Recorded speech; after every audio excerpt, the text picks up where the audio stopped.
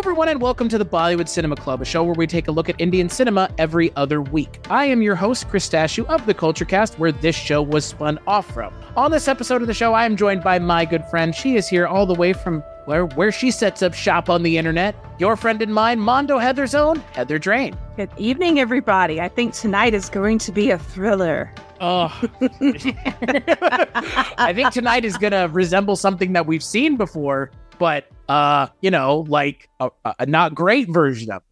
yeah, why, like way, way, way too long. yeah, God, yeah, for boy, yeah. On this episode, we're going to be talking about a movie that is, uh, up until recently, was rather hard to find with English subtitles, but yet on YouTube about a year and a half ago, somebody finally posted a 4K rip of this film with subtitles. You can find it in the link for the episode if you want to listen along or join in the discussion in your head, because we're going to be talking about 1994's Mahakaal, otherwise known as Mahakaal the Monster. So the film is directed by Shyam Ramsey and Tulsi Ramsey, and it stars Karan Shah and Archana Puran Singh as Prakash and Anita, two teenagers? Question mark. Oh, sure. Let's put some big old quotation marks around there. Some teenagers who who fall asleep at night and a man with a glove with finger knives on it torments them. Yes, this is actually a remake or reimagining or as Wikipedia puts it, plagiarized. yeah, loose plagiarism. So rude. So yeah. rude. Of, of, of, of A Nightmare on Elm Street, the 1984 Wes Craven film. But I think we've got plenty to say about the inspirations for this film because it's not just A Nightmare on Elm Street number one at all. Specifically, there are some things that are from the second and third movie. So, but we're talking about a movie that is really, and again, I, I don't think I want to put it this way, but to get someone's attention, it is Indian A Nightmare on Elm Street. And, it, and that does get people's attention. In fact, this is um one of the I'm trying to think if this is the first film you and I've discussed that actually has a recent US like legit Blu-ray release, or it's either Blu-ray or DVD, but Massacre Video have released it, and um, and they do good work. But if you're going to support them, and you should, I recommend buying another movie from them. of spoiler, uh, they have Hack O Lantern on that label, and Hack O Lantern is a joy, complete joy. Well, it's sold. It's sold out on Massacre Video, which is, is why, it? which is why I didn't mention them because I'm totally assuming somebody just ripped it and threw it on YouTube, which is, um, which is, hey, which if it's sold out, mate, you got to make do. Oh, what a shame! Do. I gotta watch it on YouTube. Sold out. People should have bought Hack a Lantern. That's bullshit. I I don't think anyone should be buying I'm, this movie. I'm I'm throwing shade on all of you that spent your hard-earned coffers on Mahakaal when you could have been buying a better Indian movie or Hack a Lantern. so Heather, tell me what what you thought about Mahakaal, aka a Indian remake of I don't want to play call it plagiarize. It's a remake. Like it it's a reimagine. I would say reimagining it because it, it takes liberties. I mean, it's not like a plagiarism. Jesus Christ! Like Right. I mean, granted, if this was if Harlan Ellison, and I love Harlan, R.I.P. If he was still alive and they did this to one of his stories, that they would get sued. They would, uh, and, and, he would probably win. So maybe it, it's fair. it's great. It's a great it, it's great area. Um, what did I think? I'll start with the positives first because I don't like being a negative Nelly. Um, there is like when you have the horror sequences, the lighting, like there's some really good lighting. Some of the camera works really good, like their use of color. Um, the mutated version of Charles Bernstein's, and I hope I'm saying his name right, the original, the, the man who composed the original Nightmare on Elm Street score, they do like a mutated version of it that has stings that are very similar to it, but that's kind of cool um because that's just a great piece of music. Um, so I liked that. Uh, the uh did I mention some of the camera works? oh my god! I that this film, and I usually I, I'm okay with some tonal whiplash, and you and I have we've we've dealt like when we saw uh I believe Muthu. Yeah, it was all Muthu over the place. Had a little bit, but but Muthu was like jubilant, and it was so good. Like you're down the ride, but that's the thing for a film to do that, you better be well, probably not a horror movie. like horror is so hard. It is one of the harder genres to do. Right. You know, to do right in any country. Um, so when you have tonal whiplash in horror, it's kind of like doing that in comedy too, where it's like everything's ha ha huck yuckin, And then, by the way, the baby's dead. And it's like, what? Like, Right. what the fuck? You can't. So this film has so much tonal whiplash. I it, it, it gets to the point where it's kind of exhausting and you're just kind of done with it. Um, there's some characters that wear out their welcome. That's a nice way of putting it. Uh the very uh I'm trying to think of the best word for this. Um like uh the treatment of of sexual assault is is Yeah, a yes. lot. It's a lot and and that's coming from somebody who's watched a lot of 80s material that it was a lot in that department. Like I'm definitely not gonna because I know it'd be easy for a Western to be like, oh well it's India. Well in India it does have a problem certainly with how women are treated, but so does this country. So nobody needs to judge. So to say, like, yeah, let, let's point fingers yeah, at ourselves. yeah. But meanwhile, well, teenage girls are getting their their periods tracked if they want to be on a sports team. So uh so no judging. It's a judgment free zone here. We're not assholes. We are we are libertines. We are celebrators of great art. Which I'm is a, not I prefer to be I prefer to be referred to as a decadent philistine. like that. You best like you should have your own brand of crack or something. uh, and a ruffled shirt. yeah. Yeah, I do. But but Chris, what did you think about Mahakaal? I wanted to like it. I think you did as well, obviously. Oh, Like, absolutely. I wanted to love it. Right. Like and you know, I think that's that may have my enthusiasm may have finally uh kind of gotten the best of me, I think in a lot of ways. Like I went into this with no expectations. I had actually, you know, there's kind of an interesting history with me in this movie. This is a movie that Cullen Gallagher, who you know, I know, Yeah. he's on the first episode of this show and he's one of the biggest supporters of Indian cinema that I know because again, like he's he's been the one that's was in my ear early on like you should do this all the time. So like Right it was on. it was advantageous and also kind of like you know prescient that he was saying that but one of the movies that him and i had talked about many moons ago was mahakaal. But up until it was re-released recently you could not find a english subbed version. It just didn't exist. You would have to pay someone to to do the translation for you. And Damn. and yeah and like that it's not worth it. Like it's not that it's not well it's not that it's not worth it but i mean it's not worth it. Like it is i don't know how to put it but i'm not trying to be mean but i can't i can't abide translating a movie that i don't know the quality of Right. Well, and this one, like I I hate to think that there's going to be like a westerner that this is their their their entry into Indian cinema. Like that actually come kind of bothers me because this journey that you have taken me on throughout the series, I probably have said this every episode because every single time, and some movies we've talked about are better than others, of course, but every single time I am like so grateful and it makes me want to just research more and and watch more because you know it's it's rewarding. Indian cinema is a rewarding thing as a whole but like anything some rewards are better than others sometimes sometimes you get the golden ticket and sometimes you get pencil shavings with a with a wad of chewing tobacco on it. It looks And like it- chocolate. that's it ain't chocolate. It don't taste like chocolate but it's crunchy. Oh, but um I guess my question to you is, but before we delve too far into the movie that's plot is so close to Nightmare on Elm Street, we're more or less probably going to be just comparing it, unfortunately. Can this film be seen as anything other than a novel? That's what I'm curious. And that was the question I was trying to see if the film could give me an answer to, or at least inform an answer that I could come to while I was watching it. Because again, like yourself, I am a engaged viewer of film, and you're expecting analysis to some extent. And that's one of the questions I went into this movie with is is there a way to watch this movie and enjoy it without it inherently just being a novelty? Because oh, it's Indian Nightmare on Elm Street. Like it it ends up in my mind being that because it's not really trying to do more than that. Right.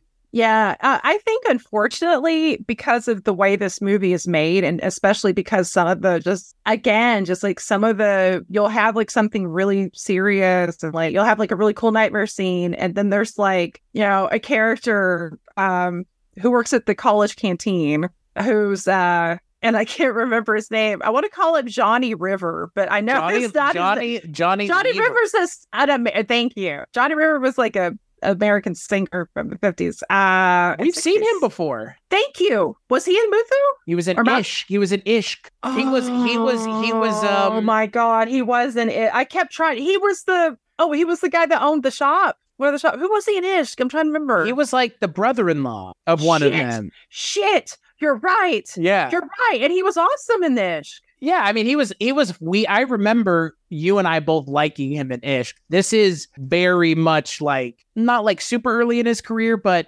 he starts acting in '82, and this is in '94. So Yeah. he, I mean, he's known at the time. There's a reason they're casting him because he is Johnny Lever is one of the considered to be a, a one of the first Indian stand-up comedians. So Oh wow!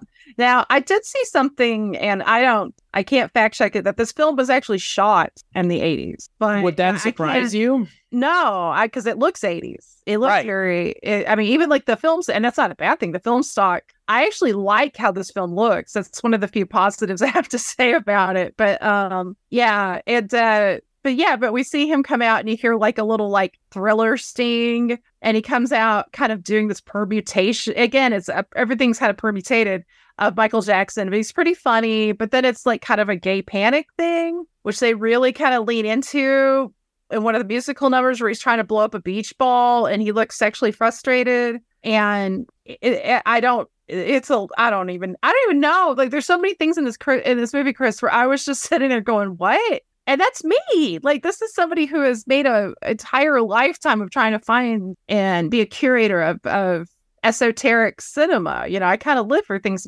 surprising me, but sometimes this surprised me in ways that I that didn't work. I think is the problem. And and that's the thing is this film was a better movie that I would say it could escape the whole like comparison. I mean, I think there still would always be people that would be like, "Oh, it's the Indian Nightmare on Elm Street," but I think it would be evaluated a lot better if it was a better movie. Right. you can you can do a remake, you know, even if it's kind of a ripoff. Well, I mean, look at the like in 1931, they made a Spanish language version of Dracula, like at nighttime when they weren't when Tod Browning and his crew weren't using that set. So it's the same sets. I mean, that's not a ripoff because it's studio, but yeah, but it's different actors, different directors, and pretty much historically it's considered a superior movie Right. Except that it's like you know it doesn't have Lugosi. Like Lugosi's kind of like the one factor you can't. I mean, come on, he's Bela Lugosi, but but it's very well regarded because everything else is so well. Like it's such a well made movie. Right. This is not Mahakaal. Mahakaal is like the tonal whiplash where it's like,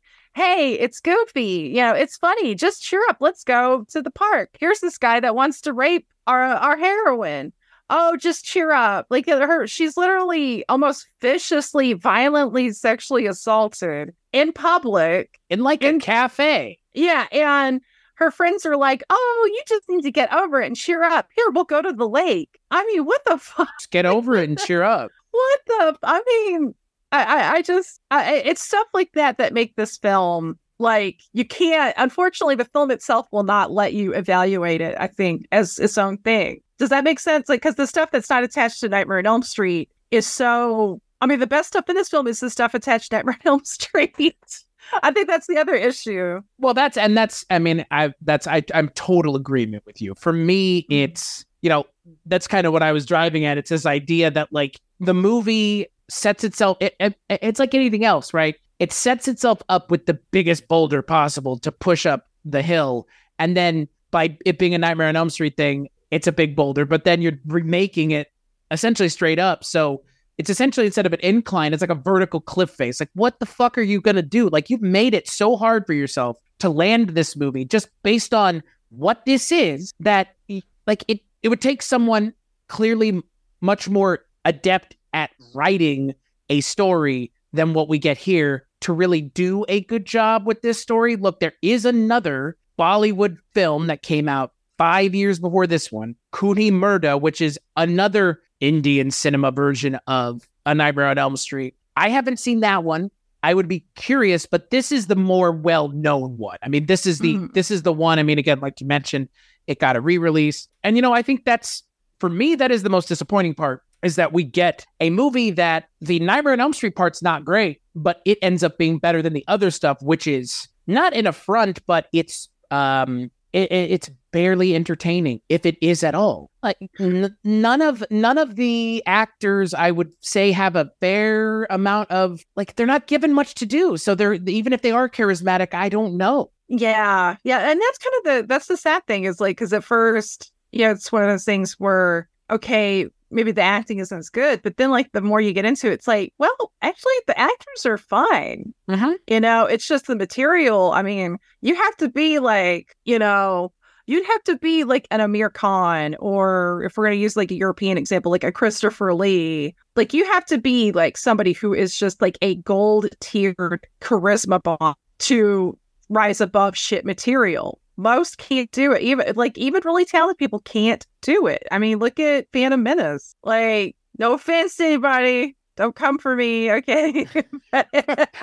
if you love it, that's cool. But in my personal opinion, there are, there are actors in that movie that are really great actors in other movies, but seem kind of stiff and wooden in it. You Right. know, and it- I don't think anybody's going to ever give George Lucas an award for writing dialogue. they shouldn't, unless it's a razz. wow. Wait, wait. oh, oh, he can go cry on his bed made of money. He's yeah, fine. true. His billions He's- of dollars. I, I love when people get all hurt. Like, oh, how did you say that about? Oh, the man who could buy and own your because he has more money than. Yeah, he's it's fine. true. It's true. He's he fine. did sell it to Disney, and we should feel Yeah. bad for him. Go, go worry about recycling your number two plastics and donating to a homeless shelter. Okay, worry about real shit, guys. Heather's True. coming for everybody. T Bomb. Uh, this movie made me cranky. I'm sorry. It just made me so salty because it was so it was so long and the music wasn't that good. And that's the other problem is I mean, I don't I don't think the music sucked. I will say that. I think this is probably one of the weakest musical entries that we've you and I have talked about. Well, and that you know there there are three songs, Mhm. and they're all. Why in God's name they didn't have a song that the monster sings is beyond Oh, me. My Look, I mean, let's, let's yes. we haven't even really talked about this yet, which should serve as a sign to those of you listening along. Um, the monster Shah Shakal, as he is so Mhm. aptly named, played by Mahavir Bhullar, um, is the biggest missed opportunity because Freddy Krueger talks and he Oh, he's talks a big personality. right, Like, and he talks in one, two, three, and then after three, he doesn't shut the fuck up and like that's part of the character and i say all this because yes this movie may have been shot in the 80s but this movie came out in 1994 and i know for a fact as do you because we're both fans of the franchise there are things from the other at least nightmare 2 and 3 that show up in this movie which means they had to have seen and made this movie at least after 1987 because there is a sequence in this movie that is directly from dream warrior it's either dream warriors or dream master the thing where the with with the bed with the water bed like that's from a nightmare on elm street Yeah. Actually, I think the waterbed's from one, isn't it? Because that's where Johnny Depp gets killed. no no johnny depp gets sucked down into it but there's a waterbed sequence where the kid gets trapped in the water Oh, bed. no, you're right. You're right. Because you know, uh, and that's um. Oh, that what's the one that has? It's the one that's got the Vinnie Vincent invasion on the soundtrack. so it's. I think that's four. Yeah, because Dokken's on the Dream Warriors, and that's three. It is right? four it is four yeah It's four then. You're right. Oh my god, yeah, because they show the girl in the waterbed in the Right. video for Love Kills. right and she's Oh. topless in the american version here Yeah. it's not that's not the case because again a, a little bit more conservative but that is straight out of four which came out in 88 so this movie was made sometime in between 88 and 94 so Oh my. my point more is less like oh they saw the first nightmare on elm street and were like hey that's freddy krueger let's do that it's like they saw all of them and didn't decide yeah freddy krueger can clearly talk so why don't why don't we have him talk Yeah. Yeah, that's the thing is that the monster isn't we're not really we're not we're not really given a lot of him and what's weird is they kind of I feel like they kind of go a little more blatantly into his backstory than we got with Freddy in one certainly where yeah in one we know that he was you know a child killer and and all that he was But- a kid diddler he was a Thank you. kid I- diddler I legit have had fans argue with me about like, oh, he just killed them. Like, guys, I I don't want to be that dark person, but I mean, if you look at true crime, people that prey on kids to kill them are doing other things. You know, it's disgusting, it's disturbing. I don't like thinking about it either. But also, you're defending Fred Freddy Krueger. It's kind of like people being like, you know, well, you know, Dracula Dracula doesn't like dudes. I'm okay with him drinking baby blood. you know, did you not hear that when the BBC did their version of Dracula a few years ago, and a bunch of like fanboys were complaining because Dracula's bisexual? oh right right right yeah, Yeah, yeah. Yeah, which still cracks. I'm like, really? Like, okay. Why would he care? If if you were immortal, you wouldn't care. Also, you're home. A, you're homophobic. B, Dracula's not real, so he could literally be anything he wants. Right. Not really care. It's like being like, if wants to Fictional characters. Fictional characters. They're not real. Yeah. Um, but I I digress. Yeah, they don't really do a lot. Um, and the design. I don't know. I, I'm trying to. I've been trying to figure out if I like the design or not. Because at times he looks kind of like a burn victim, Chris Kattan with the mullet. His hair. The hair is the hair is it for me. Like that's where that's where I, I that's where I'm on board is the hair. He's got like totally like this like mullet, like a black mullet. Other times he kind of looks like like that, like a like a cheap version of Trickster from Brainscan.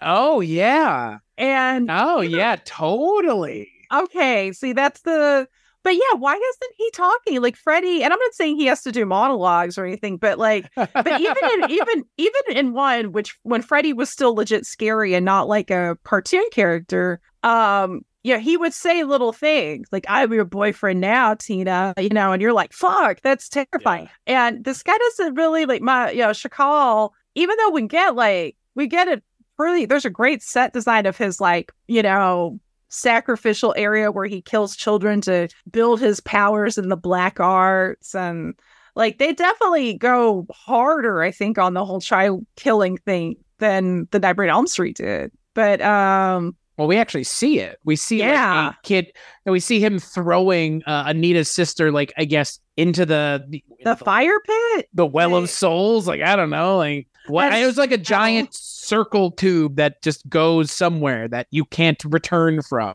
can we form a metal band called tube of souls Soul Tube. soul tube We are Soul Tube, and this is our forty-five minute jazz odyssey. Oh my god, it is the second coming of Soul Tube.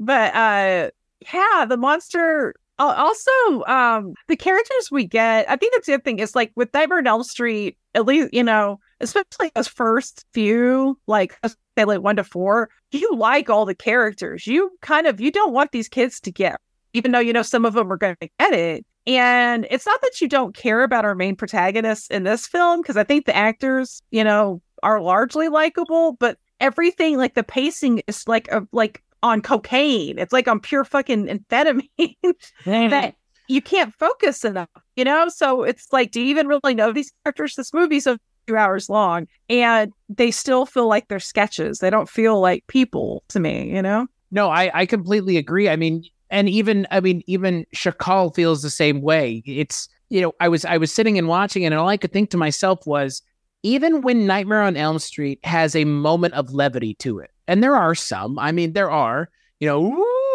ooh, stuff like that. I mean- that's the Johnny Depp. I mean, Johnny Depp's character is a lot of the comic relief. Yeah. But I mean, there is comic relief in that movie.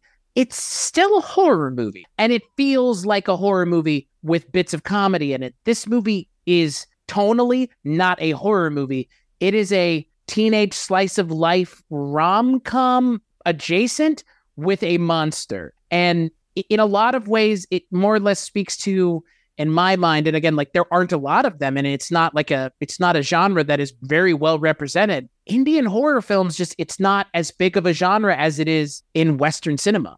Like it just, the, the representation is not there the way it is here. And I, I, I wonder why. I, I, again, like I haven't been able to suss out specifically why, but it's not as big of a genre. And I wonder if it's because like tonally, it's hard to land a film with musical numbers that's also a horror film because a lot of the horror movies that are coming out now are sans a lot of the typical things you would expect from an Indian horror film or an or an Indian film in general, like Tumbbad, which we talked about Father Malone and I uh, several episodes back. No musical numbers at all, none, and it's like an hour and forty five minutes. Like it's not even, it's not this like expansive narrative too. It's an expansive narrative, but it's not two and a half hours. Right. And like it seems like in a lot of ways, at least best I can suss out, some of it may just be horror movies are hard to do if you're trying to transpose your own style onto them, because sometimes the restraints of horror are not willing to bend in that direction. Sometimes they just can't bend in that direction. And like maybe Mahakaal having Shakal do a dance and kind of do his thing, maybe that would change my tune. But even they didn't think it, it could work, so they didn't even try it.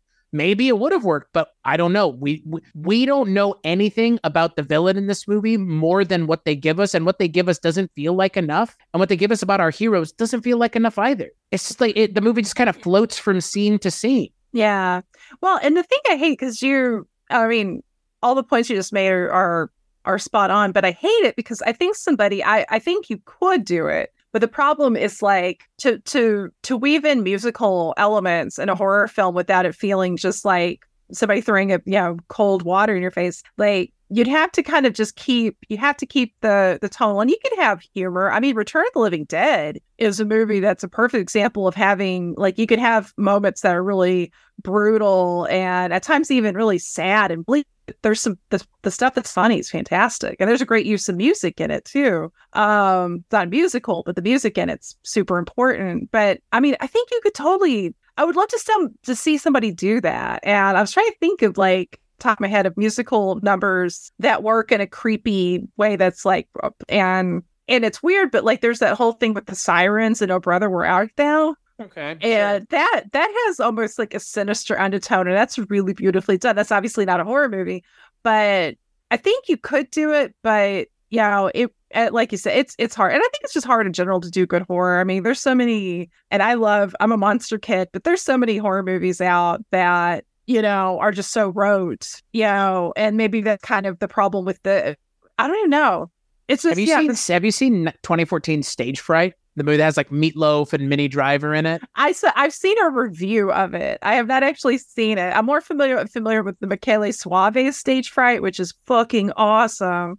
and is a masterpiece, but I've not seen the Meatloaf one. It's it's interesting. It's a horror musical, Mhm. and like it it works more or less. Like again, I'm not I'm not gonna sit here and be like, oh, it's the best movie I've ever seen. But like again, like it's sh- in my mind shows that you can kind of get away mm-hmm. with it. Like again, if, if you also if you buy into the premise, like if you the creator are just like going for it, like you got to just go for it. Like, and that's why I I think you would agree. Like in my mind, to go for it in this movie is to have the monster sing. Is Yeah. to have oh the mon- god. don't yes. have the monster not be part of the story since when in indian cinema is the villain not given some some characterization? Like that is it.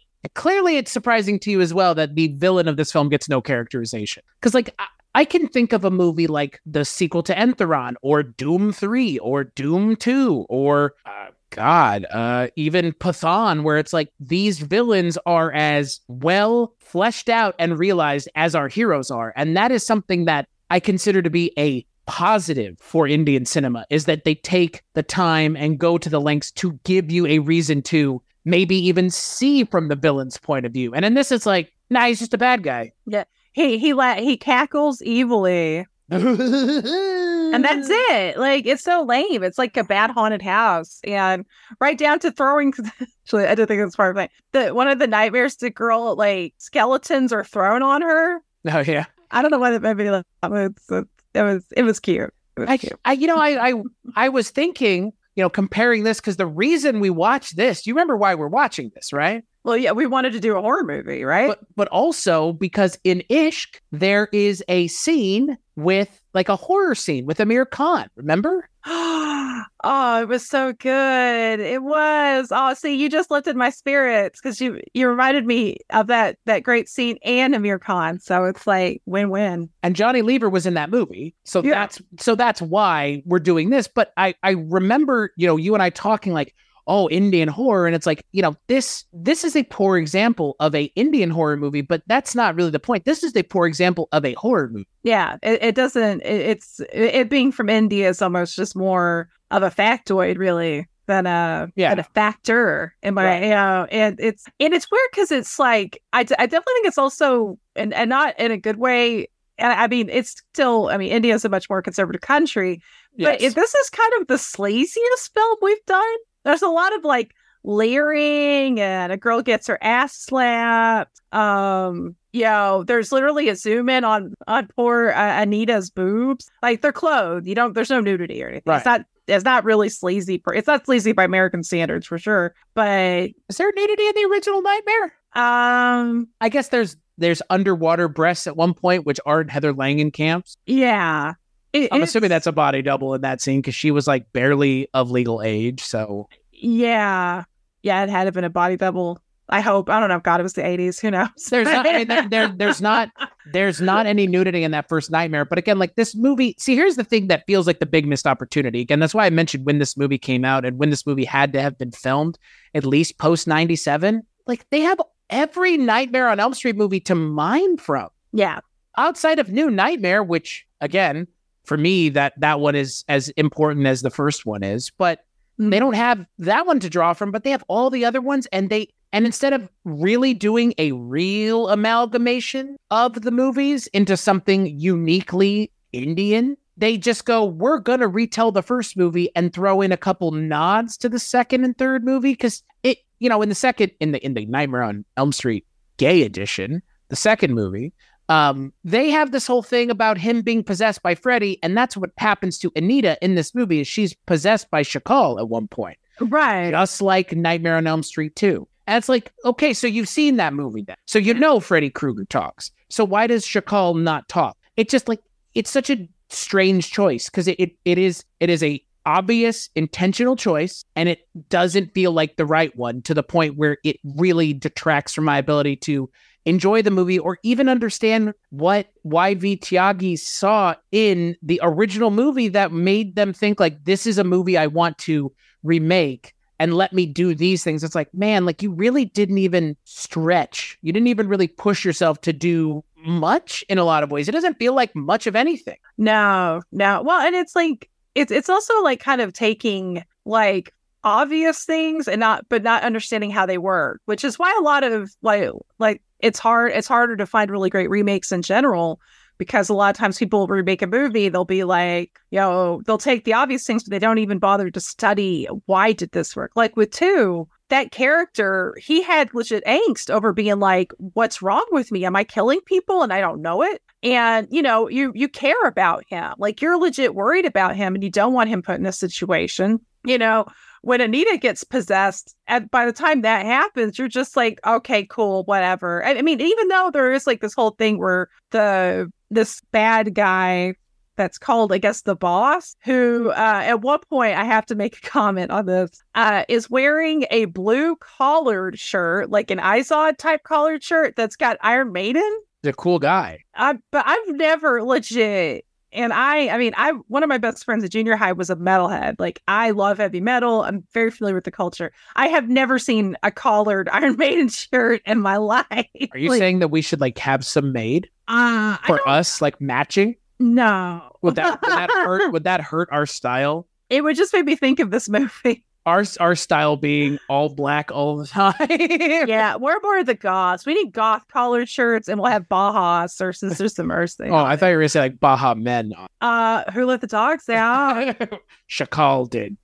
yeah, that that scamp, yeah. that that imp. But um, and that's it. And it's there's the whole thing where this guy sees he goes to a club and sees this act, but he keeps seeing Anita like mining to it. I actually think that's actually probably the better musical number because of the editing and like that's kind of a cool idea where it's almost like is he hallucinating? Is she messing with him because she's possessed by Shakal? Like uh, the seeds there are good, but it's like everything that's and I get frustrated with movies like this where there are seeds that are really cool, but everything is such a mess Right. And it's not stitched together like it should be that you get you just get really frustrated. Also this guy legit doesn't understand why she doesn't like him even he tried to rape her.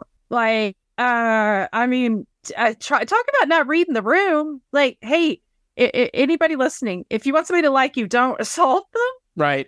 it's pretty easy. Like it don't assault anybody really. I mean that's that's terrible. Like and uh, just don't don't be an asshole you know? Don't do Well, that. and that for me, I think is kind of the excuse me. That for me is kind of the big issue with this movie is I, I didn't find any of the characters characters likable. I didn't find them easy to get invested in and or quote root for against Shakal. They they just they seem to be kind of just as surprised and confused as we are. I mean, in the original movie, it seems like the parents know more than they're letting on and that they're doing their best to protect their kids, but not really. They think they, they do what they're doing what they think is right, right? There's none of that here. It's just like the this guy keeps killing us and we don't know why. And then by the end of it, it's like, well, uh, By the way, yeah, like Shakal killed your sister and killed a bunch of kids. But like, how does Shakal die? How did Shakal become Shakal? Like, that's not an answer that is given in the movie, and it's not one that's needed to be given, but it's a part of the framework of the original movie as to why he's doing what he's doing. It's never made clear. He's just doing it because whatever. But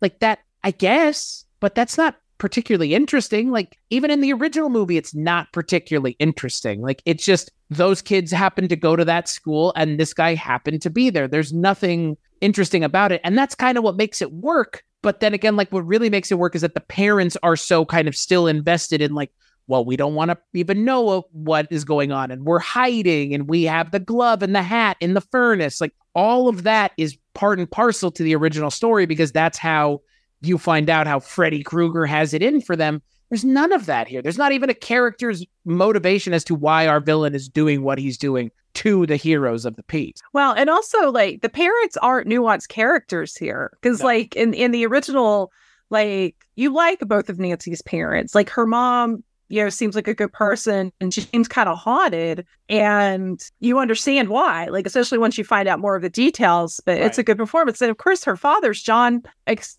excuse, pardon my French, even though I cuss all the time.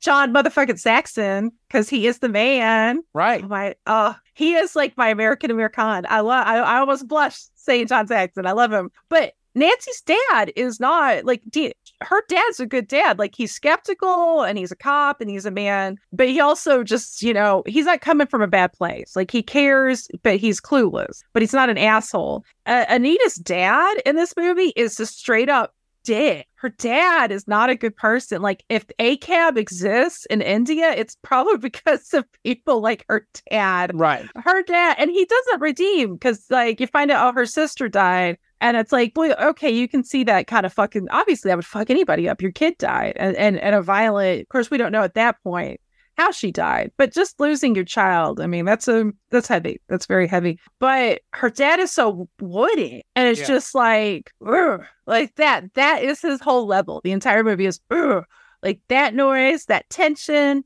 Right. There's no humanity to him, and it's not even funny. I think that's the problem. If this movie was just so over the top bad, then it would be entertaining. But it sits in an uncomfortable middle because you know, and I I, I think that yeah, that hurts it too because you can't even really watch it for you know like camp purposes. I guess if you're going to watch a movie for that reason. Well, and and you know, if we if we have one to one characters in the movie, the Johnny Lever character is a a, a addition to the mix that is not in the original series. That, that's right? yeah, yeah. And we don't.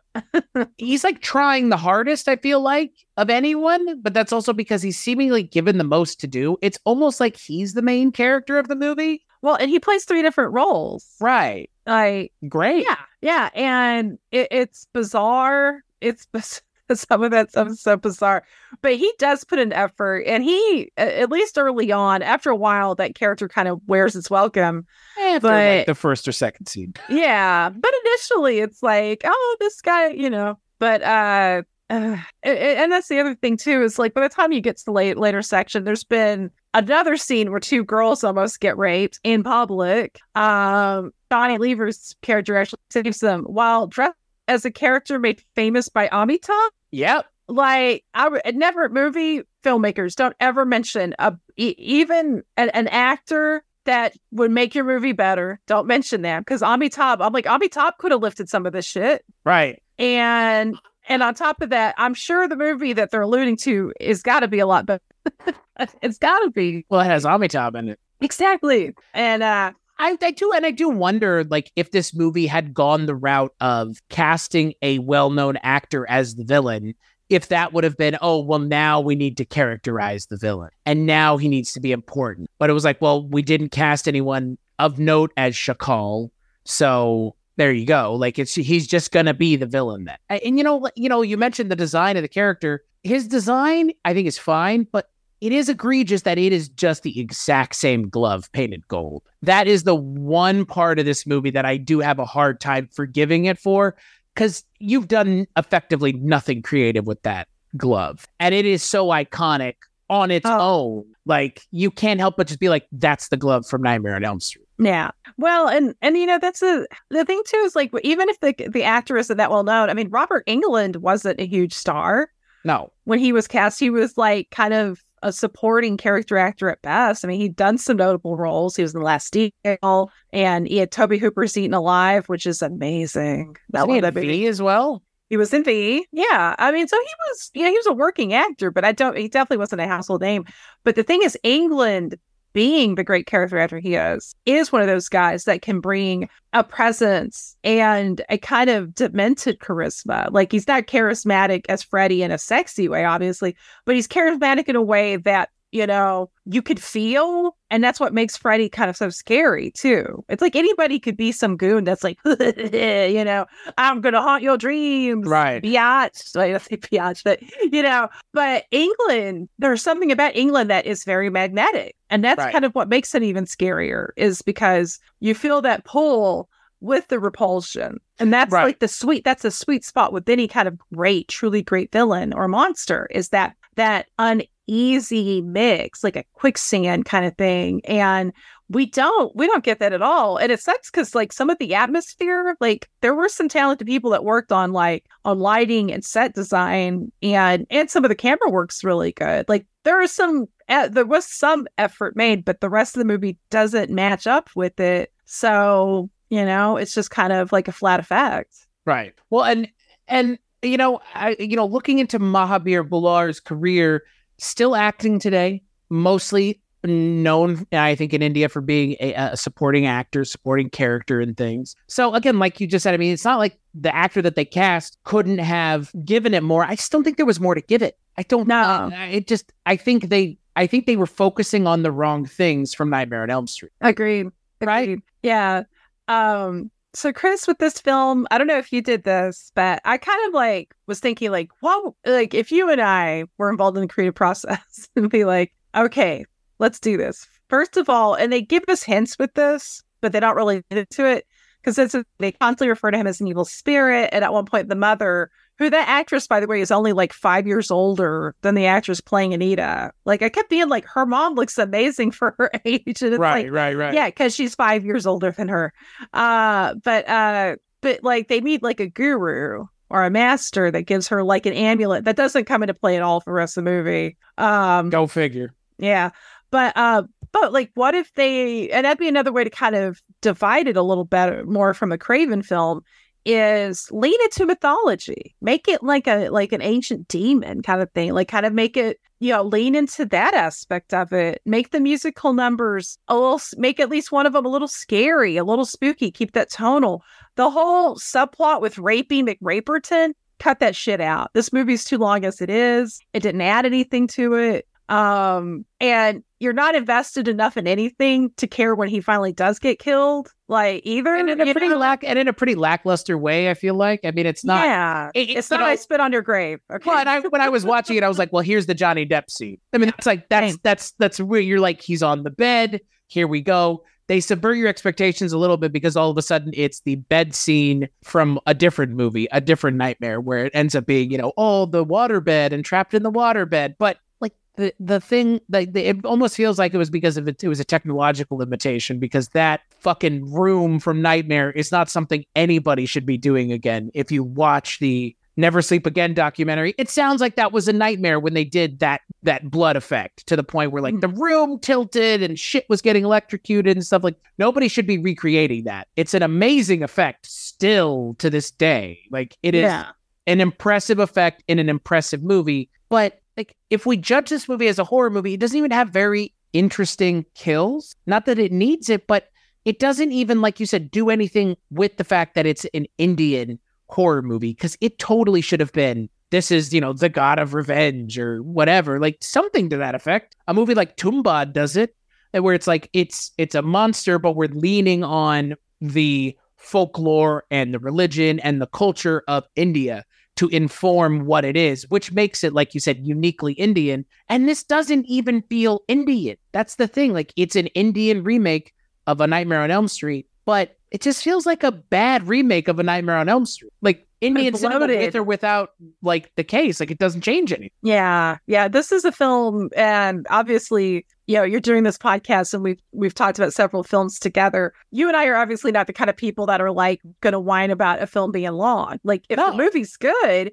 bring it. You know, we're down. But but this one definitely, I think, was the the one that we've talked about that I really felt the length on. It just was too long. It was way way too long because it wasn't that good. I mean, because some of the other films we've discussed some films that were a little long. It could have been trimmed, but it wasn't a deal breaker. You know, with this one, it's like, oh my god, there's like B and C and D plots. Cut that shit out. Like, just cut it out, lean it up, and give us a scary, give us a scary musical number. You can do that. There's tons of music that's legit atmospheric and scary out there. I don't. I mean, I know there's not a lot of precedents for scary musicals. Um, though you mentioning stage fright made me think of uh, Slumber Party Massacre 2, which does have a great musical number. Hmm. I love it with it with it's like a rockabilly number though. It's so much fun. But uh I'm trying to think of like horror musicals. There's like, I mean, Rocky Horror, but not really. I mean, it has horror elements. mhm. Sweeney It's a- Todd, yeah, as sure, presented as presented by Johnny Depp and Tim Burton, not like the stage plays. Kind of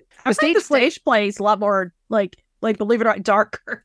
yeah, it's like, like well, it's like also very kind of like tongue in cheek too. and, like, yeah. It's more kind of like biting satire and less like Johnny Depp crooning as best he can or believes he. Right. Well, and you don't have the pastiche of like the Tim Burton pastiche kind of thing going, which Which is already horror adjacent. Yeah. Well, at this point, and I hate this because I love Tim Burton. This is an aside. I loved Tim Burton as a teenager. And I still love like Beetlejuice is forever my jam. But uh like but after a while it's like, okay, I, I know what merch is gonna be a hot topic. it's Right. like, you know, like you can just you can see it. But um but yeah, no, that's a really good question. There aren't a ton. Um, because Rocky Horror is kind of an intentional sort of camp homage to Right. horror and science fiction and B movies. Um, uh, uh, as I, I kind of Oh, um, what would would re would uh, repo the genetic opera count? yeah, but Father Malone is rolling his eyes somewhere. I wasn't a fan of it either, but I get it. uh, I get but, it. But but I mean, we're talking. We're not talking about the ones we personally love. We're talking about just in general. What about So- um Phantom of the Paradise? Yeah, you know that's so funny. I love and I love that movie with the fire of a thousand suns. Likewise, like and I know I never even think of it as horror because I just think of it as Phantom of the Paradise. right. Well, but but it is. It's But like one hundred percent. It's inspired by Phantom of the Opera, which is 100% horror. So Phantom of the Opera might be it might be the the gold standard because I can't think of a horror musical that, at least in my opinion, I think is better. I mean, you can't beat that soundtrack.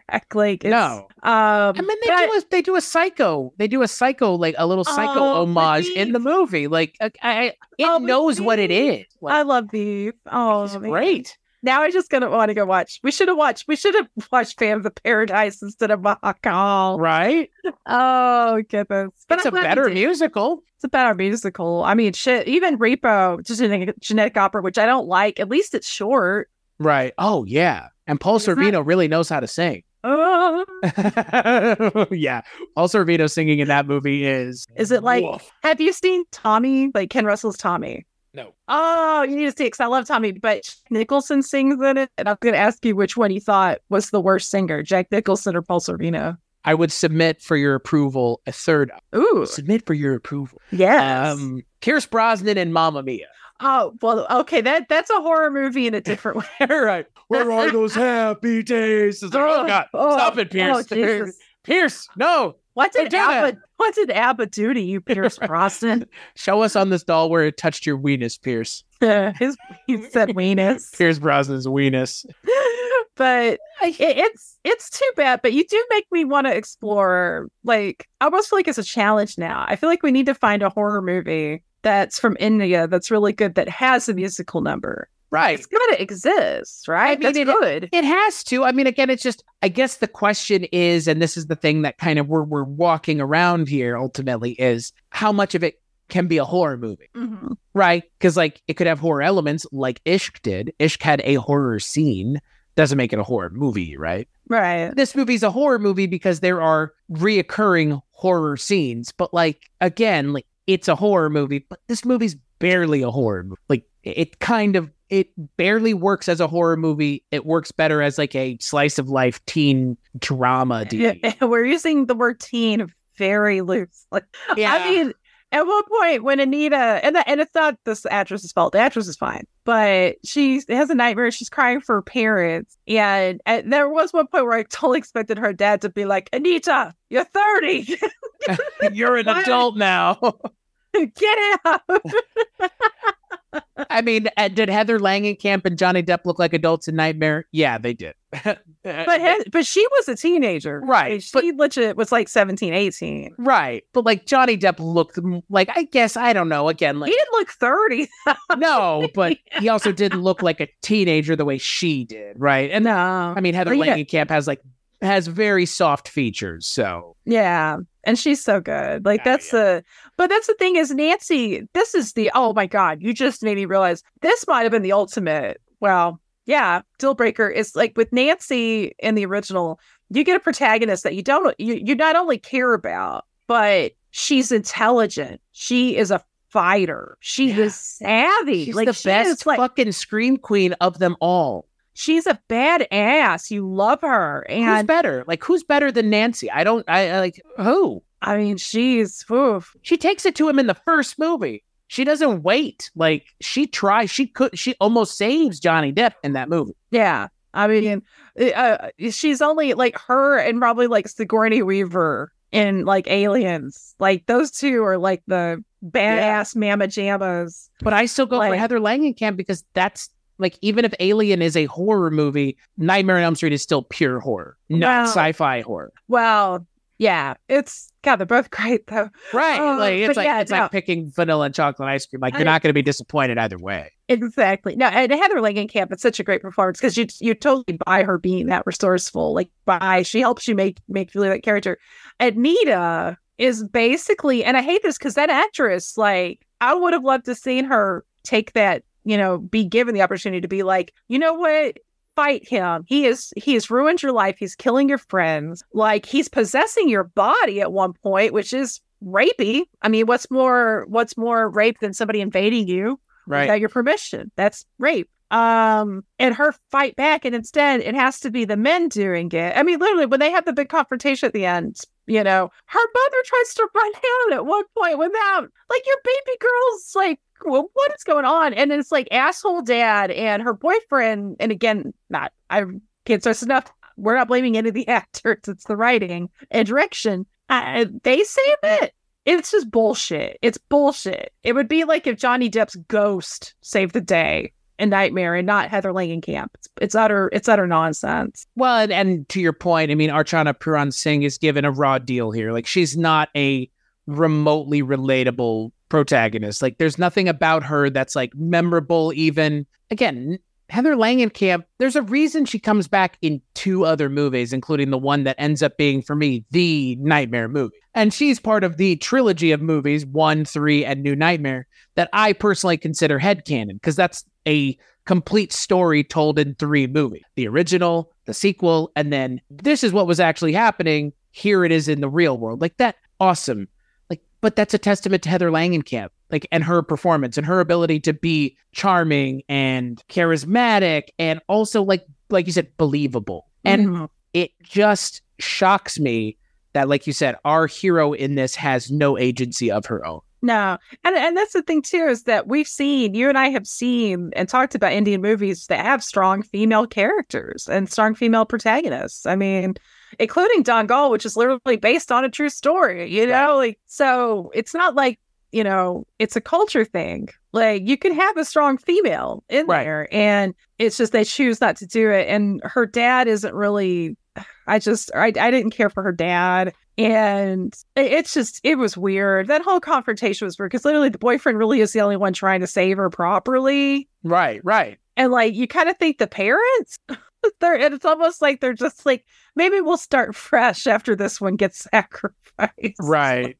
I mean, it's terrible. I I I wish this movie didn't feel like such a novelty, like such kind of a af like it almost feels like the movie itself is an afterthought and they just wanted to get butts in the seats because it's a retelling of a story that is a western story. But Yeah. like guys, just watch the original. Like, don't even watch this because, like, again, like this is beyond diminishing returns, but they don't do enough to even warrant this existing in a lot of ways. The original Nightmare on Elm Street is a classic for a reason, and it Yeah. will always be. It has stood the test of time, and it will stand the test of time. No matter how many times they remake it, no matter how many sequels they make, it's still the best out of all of them. Even if, even if my favorite is New Nightmare, the original is solid front to back. There's nothing wrong with that movie. As far as I'm concerned, it's almost a perfect. It's a masterpiece. Right. It's a masterpiece. It's just thinking it's- about the blood scene alone, like that is just like, yeah, like everything about it, right? Yeah. I mean, even even after watching this, you know, this, you know, and you and I both, like you mentioned, we love the series, and even after seeing Freddy become kind of like, yo, like this weird anti-hero, and I mean, there was like Freddy Krueger dolls and like games, yeah, like I love But- Freddy though, but like it's I weird to root I do too. It's super weird, but you can still, even with knowing all that, you can still go back and rewatch the first one, and it still has that effect. Like it's such a great horror movie, and It's scary. The first movie is scary. it's legit scary. And I mean, it, honestly, I, I, I mean, that whole tongue coming out of the pho- phone thing that fucked with me as a kid. I saw that movie at way too young of an age, and I was so afraid anytime I answered the phone, like Freddie was gonna try and French me and be like, "I'm your boyfriend now," Heather. You know, I'm your boyfriend now, Heather. ah! the fucking Oh my- tongue flicking out of the end of the phone. Oh my god, I would prefer if it was Stunk.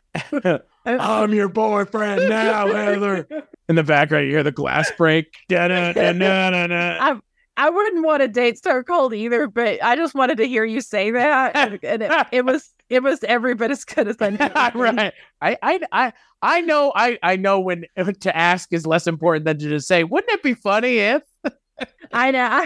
I like it though. I mean, hey, you throw the ball in the air, and I may take a swing at it. Who knows? We'll see. I, I never said I was subtle. Um, I so- appreciate it. Subtle. I appreciate that you're just like, you know. I would prefer if it were this. It's like, all right, Yeah. let's let's do it. Hey, Chris, let me pause it the situation for you. Yeah. Um. So, uh, yeah. It, it's it's too bad, but I I hope somebody listens to this. I and I think any country, Indian, fabulous. If you're American, cool. Wherever you can be from Denmark, make a horror movie that's a musical that's creepy. I want to see this shit.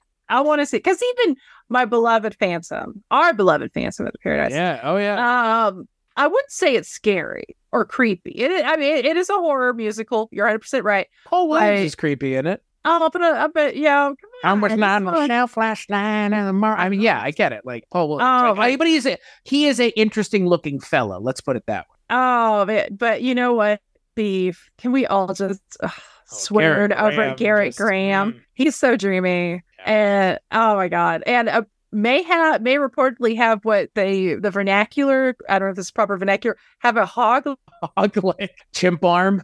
I'm just I there's a Brian De Palma movie where you see you see it all. He's I- packing. I wonder what would have been this movie's outcome if the Nightmare on Elm Street stuff had been handled in a more not respectful but interesting way and less a one for one way. I wonder what that movie would look and I wonder if that movie would have been better than this because again, there are other Indian remakes of things. There's an Indian version of Forrest Gump that doesn't just do the Forrest Gump story. It takes it and does something with it as Heather sh- shudders and shakes and no, no, no. George C. Scott hardcore over here. Turn it off. Turn it off. That's kind of how it was when you showed me the trailer for that. I was like, I totally acted like I saw it like a family member a. I was like, "Oh." Yeah. But, like, but again, like it's not like a remake of an American film by an Indian filmmaker is something that hasn't happened. But this it this this does verge on blatant, and this does verge on too close. Like, what's the point of remaking this movie one to one? Just go watch the original. Yeah. Well, and the same thing is they do add a lot of new stuff, but none of it is to a greater good kind of thing. Right. You know, I mean, that's the I've been seeing more Johnny Johnny Lever, who's I mean, even though his character gets old fast like he's right. I do enjoy seeing him. Um He's got a He's at great least- Gary curl. he's got an amazing Jheri curl, and, and he's a good dancer. That motherfucker can outdance me. Right, I can't dance that good. He loves to dance, apparently. if I tried doing some of those those like little knee moves he did, I would be on the floor crying because I have hurt myself. I think he's the best part of this entire movie. Agreed. I 100% agree. Him and the lighting. The lighting, the lighting was interesting to look at. I'm not sure it was Im- imminently successful all the time. It was very Italian lighting. It's very like giallo, like color, like blue gels, red gels, like They love the blue gel. gels on his face, on Um, was- face. I love a, I love the use of color in horror. I because I don't think I think that trend, especially when she gets to the '90s and the aughts, and even somewhat today now, most horror, oh, so many horror movies just look so washed out, and I'm like, man, come on, guys, like you got a palette. A24. They Well, love their realistic, folksy look. All right, Well, I think I can say folk spun. Fo- folksy. This is Folksy. shiplap. I feel like that that could we could make a horror movie about call it call it whittle. It's about a, a guy that whittles, you know, like the little sticks he's whittling, and he kills um rogue teenagers with his whittling. I think it would be called Whitland. Whitland and Apostrophe. and oh my god, no, this movie's gonna rock. I just hit me. We have him played by Stephen McHattie or Lance Henriksen. Okay. Ugh. Let's do Lance. Um, and he plays the musical Saw out over the dead bodies of his victims. The That'd be so musical what? Have you, have you never heard like a musical song? Oh, like oh, sure. Yeah. Okay. and, then- and then we hear we hear like uh, this there's this lo- there's this beautiful lonely lady we call her the lady of the swamps and she sings like all of these death ballads and she's got a pet crow this shit is top I'm more interested in this. no i just i just i just came up out the top of my head a better movie than mahakaal you're You welcome fantasy booked it better. And if anybody writes this movie we will sue you because we have this shit time stamped Unlike the creators of Nightmare on Elm Street, we will sue you. we will go we will go full harlan ellison on your asses okay It's time to get litigious, baby. Woo! Oh, that's a catchphrase. Yeah, Let's get let's just we're gonna make we're gonna look at Disney and say, hold our beer, mouse. yeah, squeak, squeak, motherfucker. Oh my god, this is why I love Chris. Like Chris is the best. I No try. other, co- no other host is gonna come up with squeak squeak motherfucker. hey, that's what the mouse wants. The mouse wants attention. Time to give it some. oh, Here's your piece of cheese. Oh my god, I am living for all of this. Yes. cheese. Yeah, well, I, I just love saying you want action, we'll give it. yeah, you want it. That's even better than my my previous favorite phrase. You got beef, so let's eat. You got beef. Let's heat up the grill and cook. Your voice sounds so much more threatening than mine. I feel like I still sound like a hostess. Like, Hi, I'm Heather, and would you like some Southwest egg rolls with that? Yeah. Oh, uh, I highly recommend the Chipotle Ranch to go with it. No, it's actually pronounced Chipotle. Chipotle. Chipotle aioli. That's Yeah. the other one. Aioli. It's aioli, and it's pronounced Chipotle. Chipotle aioli. Chipotle aioli. what are you, scream? What did you call me? Everybody gets in a fist fight. Get over here, you Chipotle aioli. I only, I only eat Southwestern egg rolls at TGI Fridays. You you know the the the Texas rattlesnake's been thrown out of at least a few Applebee's and Chili's. Okay. Yeah, he has. I mean, when you when They Yeah, didn't bro. cook my Southwest egg roll all the way through. It's a little cold in the center. like, all right, Jesus. Give me more Chipotle aioli. Yeah, sir, you just did a stunner on our manager. We're gonna have to ask you to leave. Guy it in the back like the rock. Jeez, he's selling it. He's really selling it. Uh, where's my goddamn mozzarella sticks?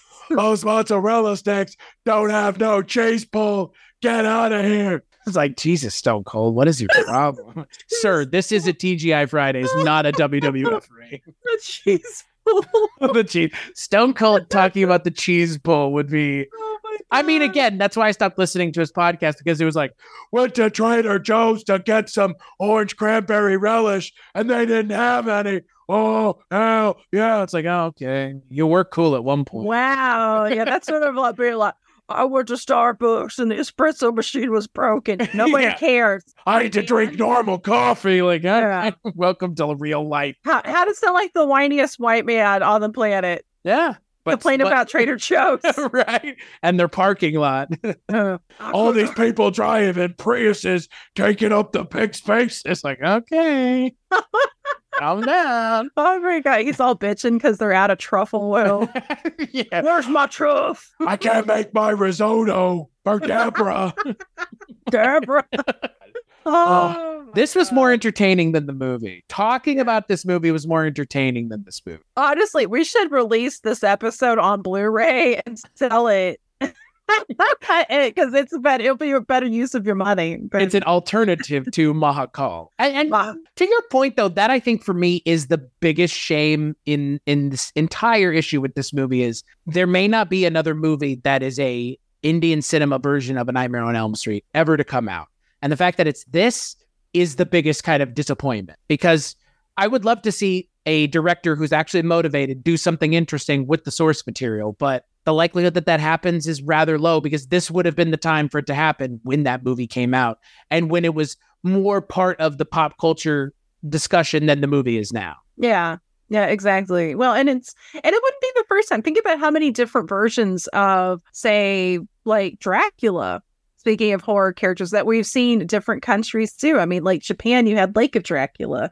Um, Jess Franco made uh, El Conde Dracula, which was you know, um, you, there you have so many. I mean, actually, there was a, a Tur- uh, Turkish version called Dracula Istanbul, which I, I think might be lost, but I hope not. Um, so that you know, and, and that's the thing is every version of Dracula by and large is a little different, even though it has like, you know, source material that's literally a book in a lot of cases, um, or or play. Uh, each one's different, and especially when you go region to region, and it's like that's what makes it interesting, kind of to view different versions of Dracula because each something a little different. Like otherwise, what's the point of remaking anything? I mean, that's why people are so cynical about things being remade now, is because we've seen a lot of people remake classic films that aren't good. Like not the classic films, but the remakes themselves, and they're a great remake. You know, Right. it's not because they're remakes; it's because they're lazy.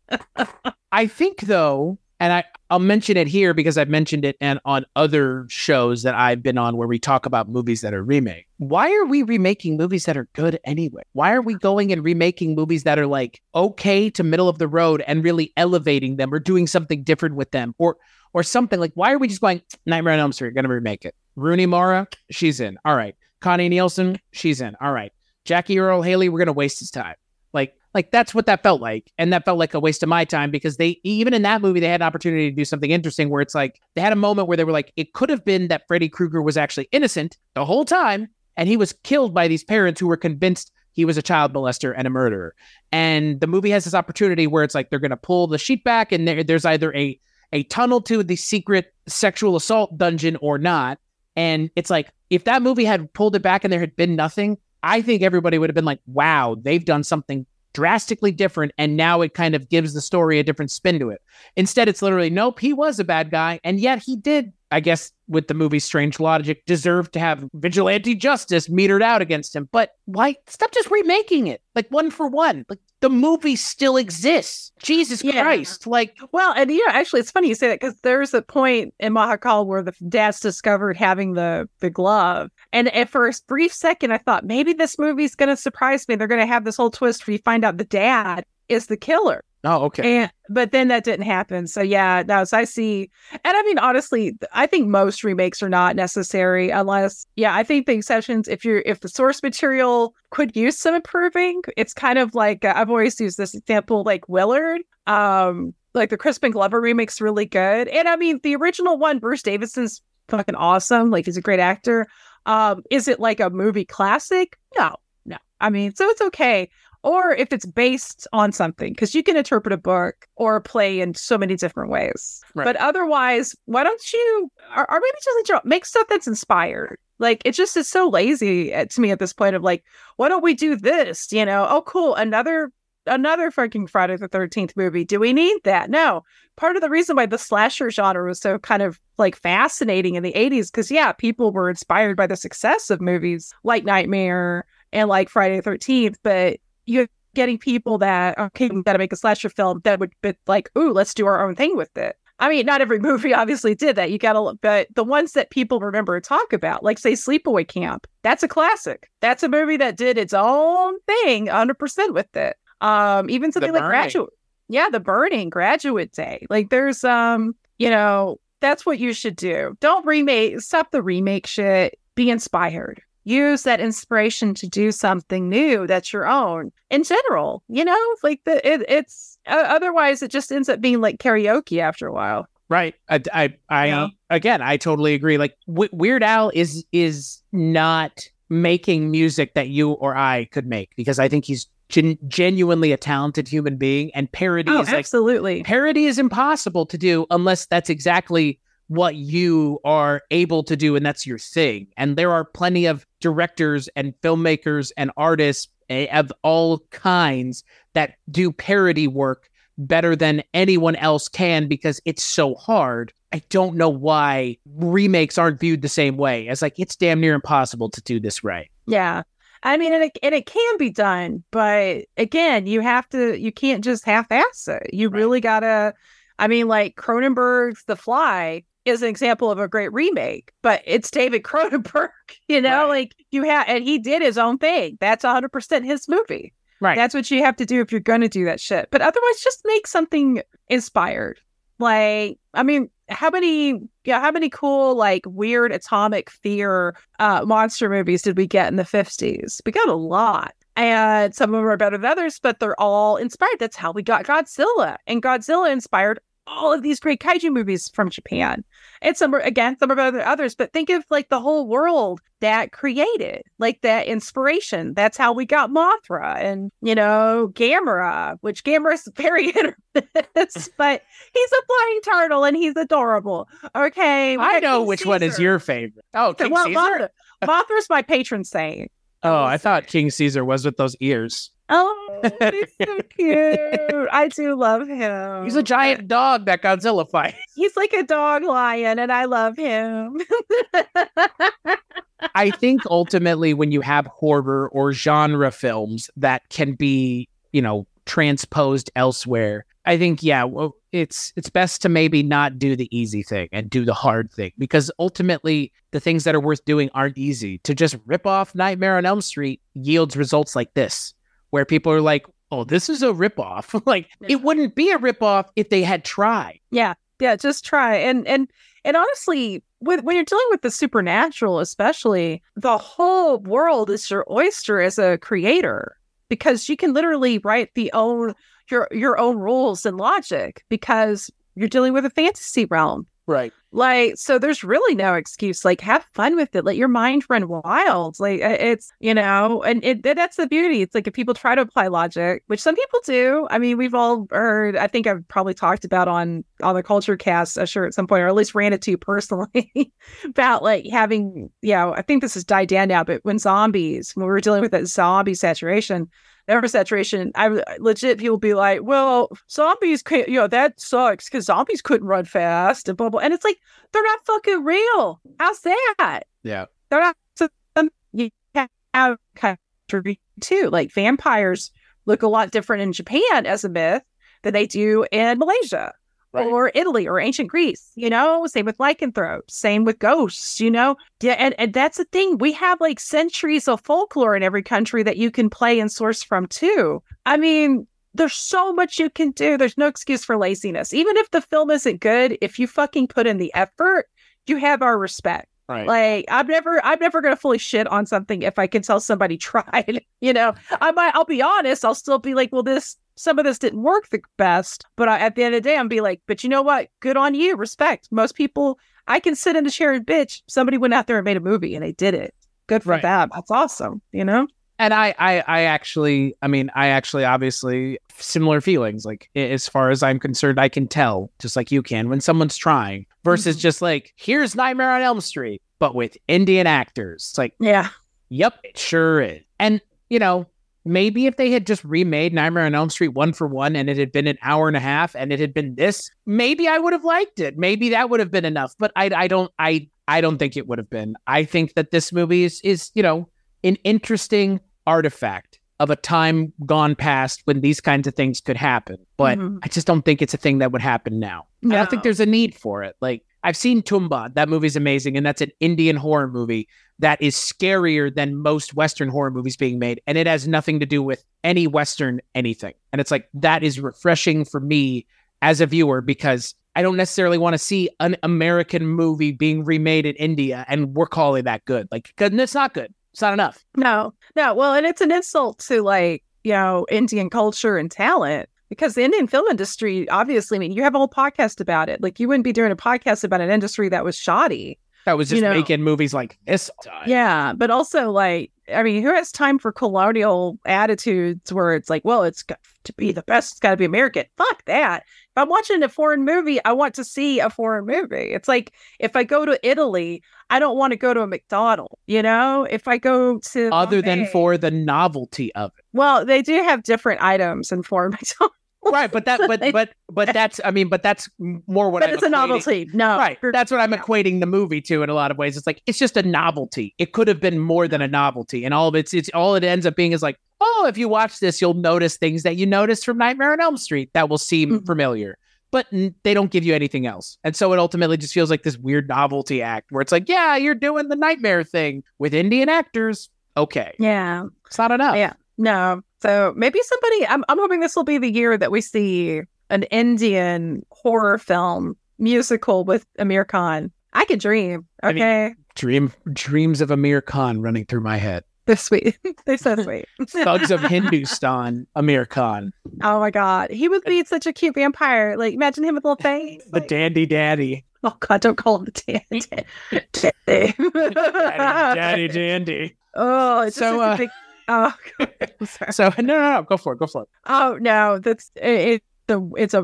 I'll tell you after the show. It's a sidetrack. so heather final thoughts on mahakaal Um, you know, when it comes to remakes, you can definitely do a lot better. When it comes to ripoffs, you can do a lot better. When it comes to Indian cinema, you can do a hell of a lot better. Um, you know, there are good facets about it, as we've talked about, but it's just um I, it, it doesn't flat out suck as a whole. I mean, I was able to finish it, but it's disappointing. So I don't know. It's it's a little bit of a of a loss, but that's the journey of film watching. You win some, you lose some. I'm I'm with you. You know, I, I had been wanting to watch this movie for a couple years now, and uh, like I said at the top here, I mean, this is a movie that I had been keeping my eye out for a English dubbed version for as long as I have been doing this podcast, so a while now. And you know, I'm I'm glad I've seen it. It is a disappointment, and in a lot of ways, it's a lot more disappointing than I thought it was going. to. But like you said, I mean, it's like anything else. I could watch a Western movie and just be just as disappointed, or more so. It's like I'm more disappointed here because I love Nightmare on Elm Street. Like I'm just disappointed, just the way you are. It's just is what it is. Ultimately, like it is nothing more than the original, and that is a is a lot of the problem with this movie. Is like the original's so good. Uh, Don't make a movie that's a remake of a movie that is a classic. You just it's it doesn't. There's nothing else that is needing to be said about that movie that the movie doesn't say on its own. And ultimately, this movie doesn't do enough to justify its own existence, and that's a shame because, like you said, I mean, most of the people involved in this movie wanted to make a good film, wanted to make a movie that people were interested in seeing and excited to to watch, and it's just it's not even okay. It's not even very good, frankly, and that's a shame. It is a shame. I wish it had been fun. At least if it had been fun, we could have been like, well, it was fun, but it's not even fun. It's just long in the tooth. Oh, That's the shame. It's just meh. Like it's bad, but it's more meh than anything else. Like yeah. Um, the one good thing is it'll remind you how amazing the original Nightmare on Elm Street is, and you could go watch that. It's readily available. It's a classic. Or uh, or Hack-O-Lantern. If you want something campy and it's got high pike. And there's a musical number in it. I just remember there's a heavy metal like music video in the middle of it. And there's like uh butt pentagrams. I mean, it's got everything but it except it- Aamir Khan. yeah, right. Does it have Aamir Khan? so until the next time we talk Indian cinema and possibly even an Aamir Khan film, where can people find you on the internet, Heather? Well, um, of course, you can find me at my website, mondoheather.com. I'm also on Twitter and Instagram under at Mondo Heather and I have a Patreon. So um, you can join me there at, I know this is going to shock you guys, at Mondo Heather. And as for me, you can find me at weirdingwaymedia.com along with all the other shows that I'm both a part of or the network uh, is proud to offer, like Noise Junkies, which is a podcast that you host with Father Malone and HP. Hell yes, come join us. Get your fix of Sonic talk and goodies. Um, and uh, we're actually going to be recording a new episode on Valentine's Day. So uh, keep your ears peeled, and we promise it'll be better than Mahakaal. That's not hard. exactly. As for this show, BollywoodCinemaClub.com is where you can find the show, but like, rate, and review the show on iTunes because, I mean, that's where you're probably getting it, and that's where most people are going to be finding it. So that's where you should go to help us out if you don't want to help us out uh, monetarily by going to where Heather's Patreon is or to the Patreon for the Kulture Cast, which is, you know, more or less, again, part and parcel with this in a lot of ways. So, Heather, thank you so much for joining me as always. I wish the movie had been better, but, you know, like you said, such is the life of a movie watcher. We all go with it, and that's um, and that's okay. It's about not the destination, but the journey. Leave it at that.